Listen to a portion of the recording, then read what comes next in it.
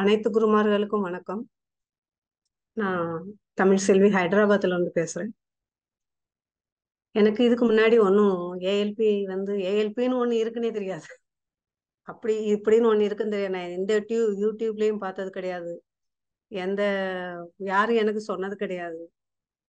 ஒரு தடவை எங்க தூரத்து உறவுல ஒரு ப ஒரு பையன்கிட்ட பேசிட்டு இருக்கையில அவங்களுடைய டிபியில பார்த்தேன் நான். ஒரு ஏஎல்பின்னு வச்சிருந்தாங்க. அவங்க கிட்ட கேட்டேன் நான் இது என்ன அப்படின்னா அவங்க இந்த மாதிரி ஒரு இது ஒரு அஸ்ட்ராலஜி இது படிச்சுட்டா நமக்கு எல்லாமே வரும். அப்படி இப்படின்னு அவர் சொன்னார்.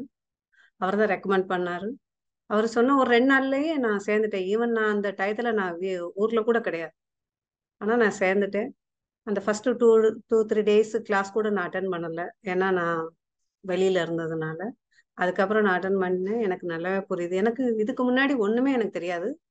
அஸ்ட்ராலஜிங்கிறது ஒரு பன்னெண்டு கட்டம் இருக்கும். அவ்வளோதான் அவ்வளவுதான் தெரியும் எனக்கு. அந்த பன்னெண்டு கட்டத்துலயும் அந்த மேஷம் ரிஷமம் அந்த மாதிரி இருக்கும். அவங்களுடைய ஏதோ ஒன் ஒன்று ரெண்டு கட்டத்துக்குள்ள கடவுளுங்க பேர் தெரியும். மற்றபடிக்கு எனக்கு தெரியாது. பட் இங்க இதுல வந்ததுல இருந்து எல்லாமே படிச்சு ரொம்ப ஈஸியா இருக்கு. ரொம்ப நல்லாவும் இருக்கு. அதாவது ரொம்ப குழப்பம் இல்லாம இருக்கு. ஸ்ட்ரைட் ஃபார்வர்ட் ஒரு ஸ்ட்ரைட் ரூட்ல போறது மாதிரி.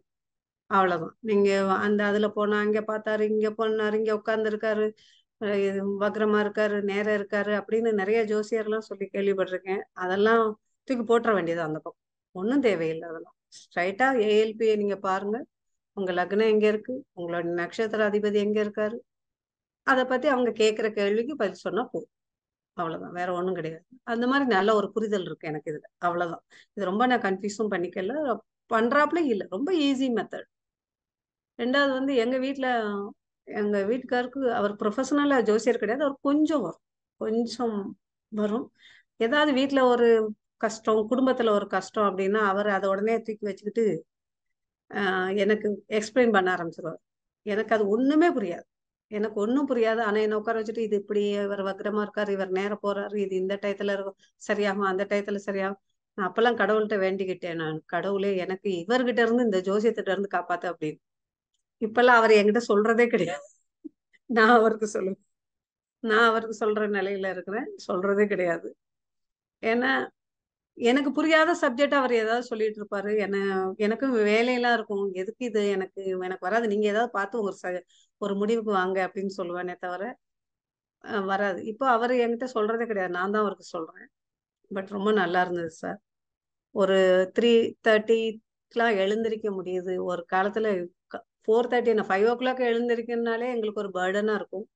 பட் இப்போல்லாம் ரொம்ப ஹாப்பியாக இருந்திருக்கிறோம் ஈவன் இப்போ கிளாஸ் இல்லாட்ட அன்னைக்கு கூட எந்திரிச்சு முழிப்பு வந்துடுது எந்திரிச்சிடறோம். நிறைய எங்களுக்கு அது யூஸ்ஃபுல்லாக இருக்குது அந்த அந்த டயத்தில் ஏர்லி மார்னிங் எந்திரிக்கிறது இனிமேல் எங் யாராலையும் ஸ்டாப் பண்ண முடியாது. அந்த மாதிரி எங்களுக்கு அந்த ஒரு பழக்கம் வந்துட்டுது. ஆனால் கொஞ்சம் நினச்சி பார்க்குறேன் நான். இது ஒரு ஃபைவ் இயர்ஸ் ஒரு சிக்ஸ் இயர்ஸ்க்கு முன்னாடியே படிச்சிருக்கலாமோ? படிச்சிருந்தா எங்க லைஃப்ல நிறைய மாற்றம் வந்திருக்கும். நாங்க ரொம்ப ப்ரிப்பேர்டா இருந்திருக்கோம் சில கஷ்டத்தெல்லாம் ஃபேஸ் பண்றதுக்கு. ஓகே லக் இல்ல. அந்த நமக்கு எந்த டயத்துல கிடைக்கணுமோ அந்த டயத்துல தானே கிடைச்சது அப்படின்னு நினைச்சுக்குவேன் நான். எனக்கு இப்பதான் அந்த பாக்கியம் இருக்கு படிக்கிறதுக்கு அப்படின்னு நினைச்சுக்குவேன். ரொம்ப செல்ஃப் ப்ரிப்பரேஷன் நல்லா இருக்கும். ஒரு மெச்சூரிட்டி வருது. நம்மள நம்ம தயார்படுத்திக்கிறோம் வாழ்க்கைய ஃபேஸ் பண்றதுக்கு. என்ன கஷ்டம் வந்தாலும் அதை அதை ஃபேஸ் பண்ணுறதுக்கும் ஒரு ரொம்ப ஈஸியாக இருக்குது இந்த ஏஎல்பி த்ரூ நம்ம ரொம்ப அப்ளை பண்ணிட்டு ரொம்ப ப்ரிப்பராக இருக்கலாம். ரொம்ப கன்ஃபியூஸ்லாம் இல்லை. ரொம்ப டென்ஷன்லாம் ஒன்றும் கிடையாது. ஆ ஓகே என்ன இது இப்போ இப்போ இது நடக்கும். அதான் நடக்கும். அவ்வளோதான் இவ சிம்பிளாக போயிட்டுருக்கு அது. அண்டு இது வந்து நிறைய பேருக்கு கிடைக்காது. செல்ஃப் ப்ரிஃபரேஷனும் அந்த ஒரு அக்செப்டன்ஸ் ஒரு மெச்சூரிட்டி இதெல்லாம் ரொம்ப ஈஸியா கிடைச்சது இது வழியா ஏஎல்பி வழியா.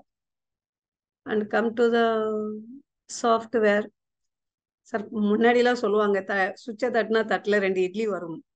அந்த மாதிரி தான் ஒரு சிம்பிள் நீங்க டக்குன்னு பண்ணுங்க உங்களுக்கு எல்லாமே வந்துடும் எல்லாமே வந்துடும் ஈவன் டி நைன் கூட வந்துடும் அது ஜஸ்ட் பார்த்து சொல்லுவோம் ஒரு ரெண்டு செகண்ட் ஆகாது சார் இப்போ யாருக்காவது ஒரு பதில் சொல்லணும்னா அவங்களுக்கு ஒரு ரெண்டு செகண்ட் கூட ஆகாது. நம்ம கையிலேயே ஏன்னா நம்ம போனை கீழே வைக்க மாட்டோம். கையிலேயே தான் வச்சுட்டு தெரியும் ஈஸியா நம்ம அதை ப்ரெடிக்ட் பண்ணி அவங்களுக்கு சொல்லிடலாம்.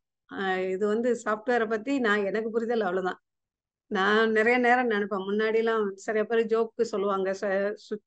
மாவை அரிசி நனை வைக்க வேண்டியதில்ல அரைக்க வேண்டியதில்ல புளிக்க வைக்க வேண்டியதில்ல. ஆனா தட்டுல ரெண்டு இட்லி வந்துடும் அதே மாதிரிதான் இப்பெல்லாம். அந்த சாஃப்ட்வேருங்கிறது அவ்வளவுதான். எவ்வளவு டீட்டெயில்ஸ் இருக்கோ அதுல எவ்வளவு டீட்டெயில்ஸ் இருக்கோ நமக்கு தான் படிக்கணும். நம்ம தான் இன்னும் கொஞ்சம் இம்ப்ரூவ் ஆகணும் அப்படின்னு இருக்கும்.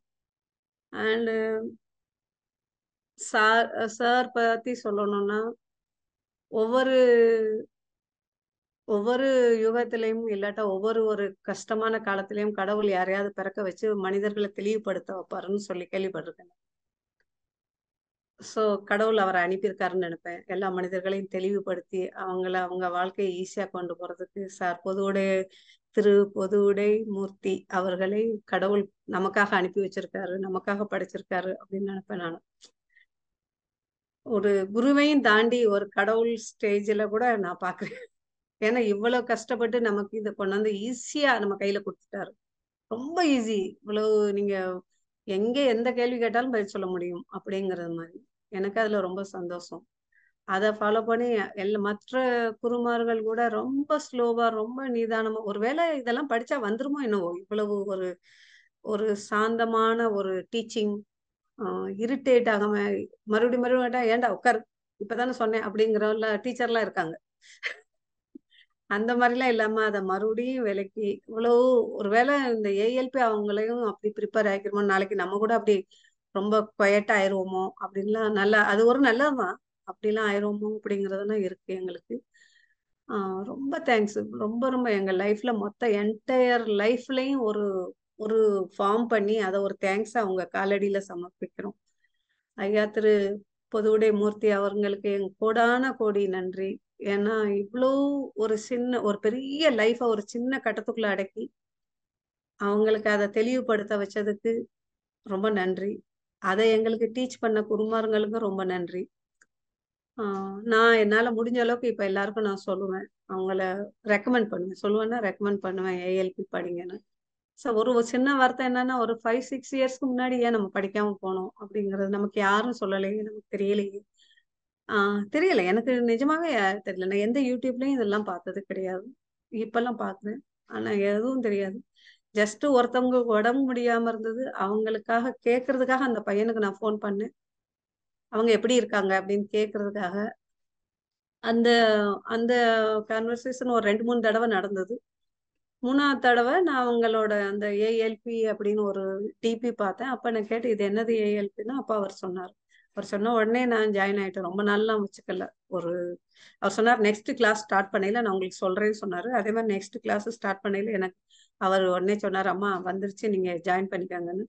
நான் ஈவன் அவுட் ஆஃப் ஸ்டேஷன்ல இருந்தா கூட நான் உடனே ஜாயின் பண்ணிட்டேன். எல்லாமே இது பண்ணிச்சு. மூணு நாள் கழிச்சு அட்டன் பண்ணா கூட ஸ்டில் நான் டெய்லி அட்டன் பண்ணுவேன் சார் நான் நீங்க புத பகவான் குரூப்பா இருக்கட்டும் இல்ல அது குரு பகவான் குரூப்பா இருக்கட்டும் எல்லாமே அட்டன் பண்ணுவேன். ஏன்னா எனக்கு ஒண்ணுமே தெரியாதுல்ல. அதனால ரெண்டுமே அட்டன் பண்ணி அட்டன் பண்ணி அது கொஞ்சம் நல்லா வந்துருச்சு இப்போ எனக்கு ஆல்மோஸ்ட் அண்ட் இதுக்கெல்லாம் இல்லை எனக்கு கூட இப்பதான் அந்த பாக்கியம் இருக்குன்னு நம்புறேன் சார் நான்.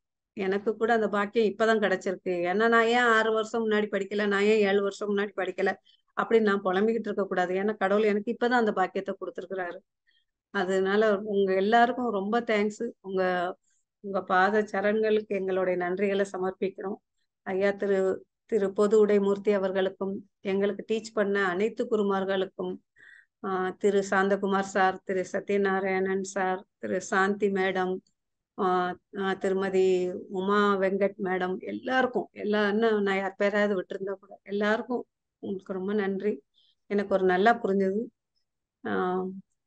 எனக்கு ரொம்ப ஹாப்பியா இருக்கு. த்ரீ தேர்ட்டிக்கு எந்திரிக்க முடியுது என்னால அண்ட் ஹாப்பியா பார்க்க முடியுது எல்லா வேலையுமே.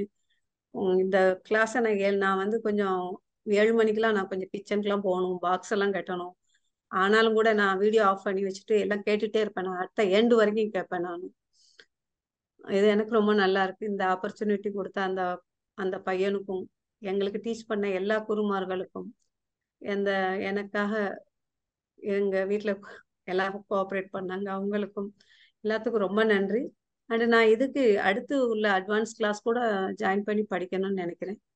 அதுக்கு உங்களுடைய தயவு வேணும்.